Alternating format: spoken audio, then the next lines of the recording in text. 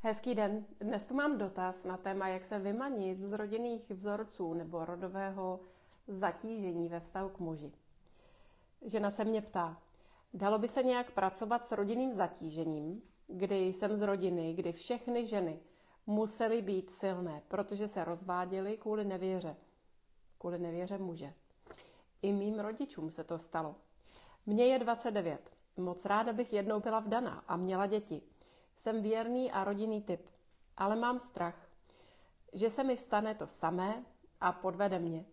Hází mi to i na sexuální stránku negativní náhled a mám pocit, že sex je jen o tom podržet muži, kdykoliv si řekne.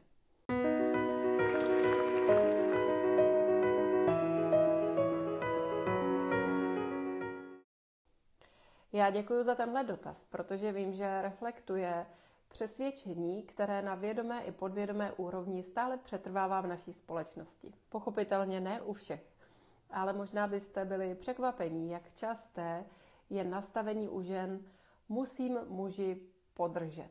Je to něco, co bylo hluboce zakořeněné v naší společnosti, v naší kultuře a jak je vidět v některých rodinách nebo rodech, se toto přesvědčení vědomně či podvědomně předává dál. A já bych tady chtěla dát i komentář, že to přesvědčení, uh, sex je jen o tom podržet muži, typuji, že tohle je přesvědčení, které měla maminka, které měla babička. A je to pravděpodobně i to přesvědčení, které vedlo k tomu, že muž byl nakonec nevěrný. Protože když jako žena jdu do intimního styku a jsem tam jako tělo bez duše, jdu to jenom vydržet, tak ani muž z toho nemá takový požitek, nemá z toho takovou radost, jako má, když se miluje se ženou, která si to užívá. A tady je, dámy, důležité, abyste věděli, že muži mají obrovskou radost a obrovské potěšení, když zažívají, že žena je v potěšení, že ženské tělo je plné potěšení.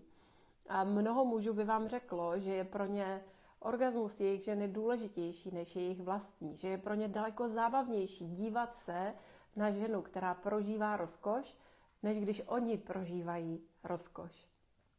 A typuji, že tohle může být i ten vzorec za těmi nevěrami v rodu, kdy si muž vybere ženu, která je sexuálně uzavřená a protože jejich intimní styk je nemastný, neslaný, mechanický a nebo ve výsledku žádný, tak si najde milenku. Jo? No a teď, jak z toho začarovaného kruhu vystoupit? Ten první krok bych řekla, že už se děje. A ten první krok je si to uvědomit. Protože tahle dynamika se zpravidla předává o to silněji, když si ani nejsme vědomí, že tam něco takového je. A to, že to najednou vidím, to, že si říkám, ty nevěra, nevěra u mámy, nevěra u babičky třeba, jo, mezi, mezi rodiči, mezi prarodiči, tohle já nechci žít dál. To je to uvědomění. To je to uvědomění, že tam jede nějaký vzorec, kterého ale nechci být součástí. A tohle uvědomění nás většinou dostává na cestu osobního rozvoje. Já tady vstoupím i s osobním příběhem, který má trošku jinou dynamiku, ale v naší rodině se také hodně rozvádělo. Moje maminka se rozváděla dvakrát. Obě babičky se rozvedly v 50. letech, to se tehdy moc nenosilo. A já jsem to sledovala a říkala jsem si, jo, tak k čemu jsou ty svatby, když se stejně nakonec rozvedou? A byla jsem velmi opatrná. Vedlo mě to k tomu, že už ve 20 letech jsem začala jezdit na kurzy, které se týkaly sexuality, intimity, partnerství, jo. A vlastně zatím bylo to poznání, hele, a tohle v naší rodině nějak moc nefungovalo. Jo, u babičky, minimálně u jedné, já neznám všechny příběhy na všech stranách, ale vím, že u babičky z máminy strany třeba velkým bolavým tématem byla právě sexualita kdy ona svůj první intimní styk se svým manželem prožila uh, tak, že ho označila, jako že to bylo znásilnění. A, ale to už spolu chodili několik let, jo? Pozor, to nebylo, že by jako přepad nějaký cizinec. A uh, on si pak i zase našel milenku, jo? Když se narodila moje maminka, tak on měl milenku. A evidentně to bylo i z důvodu, že babička nebyla sexuálně otevřená a šťavnatá a tak dále. A ani nedokázala být, nevěděla, jak to má udělat, neměla k tomu průpravu. A tak já jsem tehdy v těch 20 letech spíš tak jako podvědomně tušila, že to není úplně OK s těma manželstvíma a s tou sexualitou. A tak jsem hledala cesty, jak to pro sebe dělat jinak. A vydala jsem se na kurz. A, a začala jsem si dělat výcviky. A dělala jsem si různé výcviky, vědomá práce s tělem, sex, sexualitou, Navštívila jsem mnoho seminářů po Evropě, po světě, které se týkaly právě vztahů, intimity, partnerství, sexuality, osobního rozvoje, terapie. A prostě jsem se učila. A jak jsem říkala, byla jsem taky velmi opatrná se svatbou a byla jsem i velmi opatrná s dětmi, protože u nás eh, se rozvádělo zhruba rok poté, co se narodilo dítě první. A to platilo pro babičky i pro maminku. A tak já jsem si říkala, ne, ne, ne, to úplně nemusím. A, takže já jsem držela odstup, ale samozřejmě e, něco ve mně chtělo nejenom partnerský vztah a já jsem naštěstí měla vždycky hezké partnerské vztahy, akorát vůči té svatbě a rodině jsem byla taková rezervovaná a říkala jsem si, ne, ne, ne, já miluju svoji práci, dělám ty kurzy, to je úžasný, prostě já úplně se nemusím realizovat jako matka. Až eh, v určitou chvíli jsem najednou cítila, že jako jo, že bych s mým partnerem vlastně chtěla i dítě. A, a tak se nakonec stalo, takže se narodil Pedro, náš první syn, tomu je 9 let. Dokonce jsme se i vzali, můj muž mě požádal o ruku, to jsem vůbec ani nečekala. A tak, jak jsem byla rezervovaná vůči těm svatbám, tak jsem si říkala, hm, ono je to takový praktický, když eh, se budeme jmenovat stejným způsobem, že jo, já nechci někde dokazovat, že jsem máma svého dítěte, nebo že táta je táta svého dítěte, když se každý jmenujeme jinak a podobně. A vlastně jsem byla ráda za tu svatbu, ale pozor, bylo mi 37 let. Jo? A předcházela tomu vlastně ta vědomá cesta seberozvoje a ano, určitý odstup, který mě nijak nevadil, nijak nezraňoval, ale byl to odstup. Ale co tím taky chci říct, Letos s mým mužem budeme slavit desetileté výročí od svatby a tím jsem vlastně udělala rekord dvou posledních generací, protože to se pro mámu ani pro babičky nedělo. Jo? A tím chci říct, že my máme moc eh, ty rodinné vzorce prolamovat. Ve chvíli, kdy si všimneme, že tam nějaké eh, téma neštimuje, tak ho začneme zkoumat. Eh, začneme objevovat třeba podobné tendence i v sobě, ale ve chvíli, kdy je vidíme, tak je můžeme měnit. A já bych se tady konkrétně podívala na to, kdy pisatelka píše, mám na sexuální stránku negativní náhled a mám pocit, že sex je jen o tom podržet muži, kdykoliv si řekne. A super je, že ona si uvědomuje, že to není tak, že by to tak muselo být, že takhle je to jako pravda, ale že je to můj pohled. Já se na to tak dívám a vlastně to není v pořádku, že se na to dívám. No a pak by mohla začít cesta hledání radosti v tělesných požitcích. A tam je dobré začít každý sám u sebe. Z toho důvodu jsou nádherné třeba právě ty naše celostní smyslné masáže, které můžete naštívit v masážním studiu Arkaja nebo na kurzech je učíme. A ono je to vlastně celé o tom, že zkoumáme způsob, jak prožívat uvolnění a radost ve svém těle. A spolu s tím přichází i balíček eh, sebeuvědomění a sebepřijetí, protože spolu s tím, jak se aktivuje naše tělo, jak se probouzí do větší hladiny energie a radosti, tak se ale často aktivují i ty různé bolesti a traumata a traumátka naše, eh, rodový. A my si je vlastně zvědomujeme, abychom je mohli pustit. A to je takový očistec, to je taková cesta osvobození se, kterou i já jsem si procházela, kdy jsem na začátku mé cesty byla hodně uzavřená, hodně potlačená, pak se různě objevovaly a vyplavovaly na povrch ty pocity, které jsem v sobě pečlivě střežila pod zámkem, abych ve výsledku zažila uvolnění a prostor a radost. A touhle cestu vidím i u mnoha, mnoha dalších. Takže typ číslo jedna. Začít hledat radost ve svém těle nezávisle na muži. Jo? Je fajn to vlastně v první řadě osvobodit od toho, že jsem s nějakým mužem, protože tam naskakují ty pocity, jak už eh, pisatelka psala, musím tady být pro něho, musím mu podržet. Jo? Takže osvobodit to tady od těch návyků v mysli a vlastně se naučit žít radost a rozkoš ve svém těle, což je pak obrovský bonus ve chvíli, kdy jsem v kontaktu s partnerem a už mám tu úctu ke svému tělu, už vím, jak ho rozeznít do radosti, do rozkoše a vlastně mu dovoluji být toho součástí. A to je úplně jiná perspektiva, než že tak jsem tady, tak já ti podržím. Jo? Je to, já znám svoje tělo, vím, co mám ráda, vím, co mi dělá dobře a ty můžeš být u toho. A to většina mužů miluje. Miluje takový přístup nebo postoj u ženy, protože na nich nevisí veškerá zodpovědnost, že by jí měli uh, obšťastnit, když ona je například třeba právě i zavřená a nejde to. A já vím, že mnoho párů se cyklí v nějaké nešťastné dynamice, kdy třeba ta žena na sebe tlačí a říká si, je, tak on se tak snaží, on mě tak hladí, ale já nic necítím, jestli já nejsem frigidní. A i on se třeba snaží právě a říká si, tak ať už se udělá, ať už se udělá. A vytváří to hrozný tlak, hrozné napětí.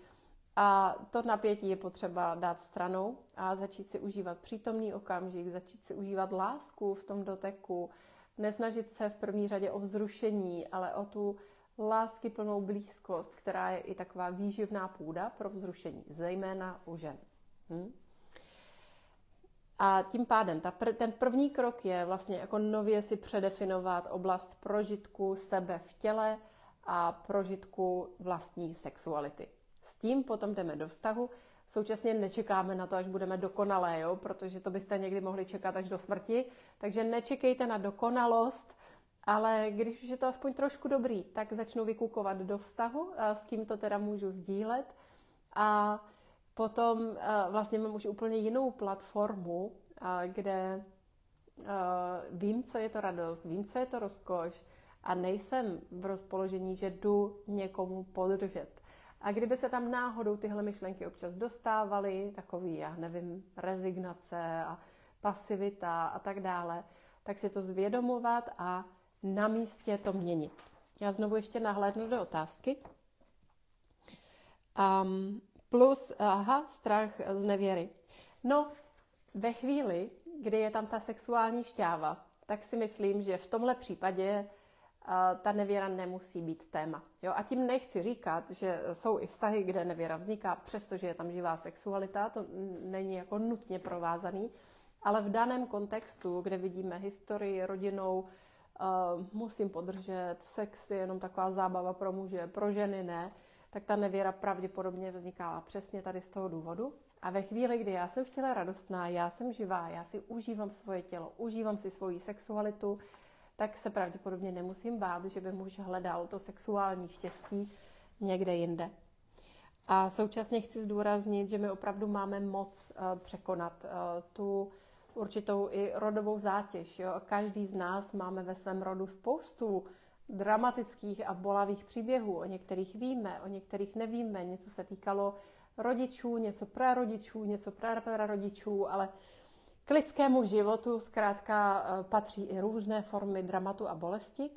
A to uvolnění, to léčení přichází, když my si dovolíme to prožít, zvědomit a pustit.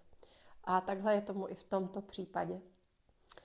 Co by dál ještě mohlo posloužit pro eh, podporu na cestě rozvíjení vztahu a sexuality v té pozitivní podobě, je určitě i koncept takzvaného vědomého milování, který je o tom, že právě zkoumáme tu radost z našeho těla v přítomnosti a v lásce a současně mm, umožňujeme, aby vznikla vášeň, která má úplně jiný charakter, než je vášeň na které pracujeme skrze stimulaci.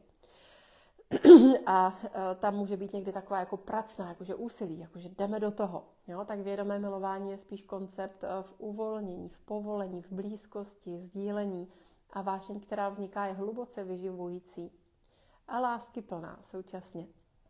To je něco, s čím hodně pracujeme třeba na kurzech pro páry. A pak mě tu napadá ještě jeden další krok pro nasměrování a to se týká určitého osvobození se ve vztahu k mužům. A já na tohle téma mám zaměřený jeden z online kurzů pro ženy, který se jmenuje Láska je tvůj zdroj ve vztahu a má podtitul Uzdrav svůj vztah k mužům. A my tam pak konkrétně jdeme do vztahu s tátou, vztahu s ex-partnery, vztahu s partnerem, pokud tam nějaký je. A vlastně léčíme všechny tyhle vztahové dynamiky a osvobozujeme tím ženu od toho, co ona třeba nese zbytečně jako zátěž, jako určitou nedůvěru, jako opatrnost, ostražitost vůči mužům a tak dále. No. Takže tohle, tohle je něco, co bych doporučila jako další kroky, nejenom v konkrétně tomto případě, ale kdykoliv cítíme určitou rezervovanost nebo opakující se nešťastné vzorce ve vztahu s mužem či muži. A možná vás napadá, že někdy právě ve vztahu s partnerem zažíváme podobné věci, jako jsme měli ve vztahu s tátou, ve smyslu není tady pro mě, nedáváme dost pozornosti, nebo je na mě moc kritický, jo? A, a tak dále a tak podobně. Můžete si tam dosadit svoji vlastní verzi, kdy ten táta buď nebyl přítomný vůbec, nebo nebyl přítomný psychicky, tak jak jsme potřebovali, anebo byl přítomný způsobem, který byl zraňující. A my máme tendenci i v partnerských vztazích pak někdy vytvořit podobnou vztahovou dynamiku, což samozřejmě nechceme, ale na té podvědomé úrovni k tomu můžeme zpět a opět. skrz to, že si to zvědomuju, skrz to, že to vnímám, a že to pozoruju, tak o to získávám určitý odstup. A pak i tím, že dovolím ty pocity, které tam jsou, aby vypluly na povrch a odplavily se, tak se osvobozují. A to je v podstatě základ, kterým já ženy provádím v kurzech, kde jsou nastavené krásné léčivé meditace, praktické akční kroky a vede to k velmi hlubokým a krásným vnitřním proměnám, které skutečně mají ten efekt osvobození se v životě ve smyslu vytvoření nové dynamiky ve vztazích, která je pečující, vyživující, a lásky plná. Tak doufám, že pro vás i tohle video bylo užitečné ve smyslu zvědomění si, že nemusíte, nemusíte opakovat to, čím trpěly vaše maminky, babičky a tak dále. A už jenom to, že to vidíš, je první základ ke změně. Protože to největší utrpení se předává, když se děje a my vlastně vůbec nevíme, co to je, proč se to děje, s čím to souvisí. Jo? Takže to, že něco vidím, je první krok a odtud pak vedou ty další, které vedou k postupnému uvolňování a osvobozování se z té určité dynamiky, která je bolavá. A co je na tom krásné, že ve chvíli, kdy my z toho vyvážeme sebe, tak z toho vyvážeme i ty další generace. Jo? To znamená naše děti a vnoučata a tak dále. Takže moc držím palce všem, kdo jste na cestě uvolňování nějaké rodinné zátěže nebo rodinného traumatu.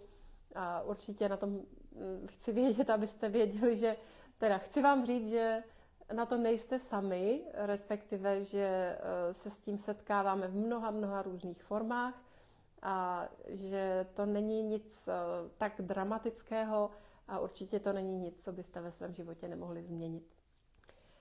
A pokud vás zajímá další kroky, co dál, tak prostudujte na mém webu online kurz Láska je tvůj zdroj ve vztahu.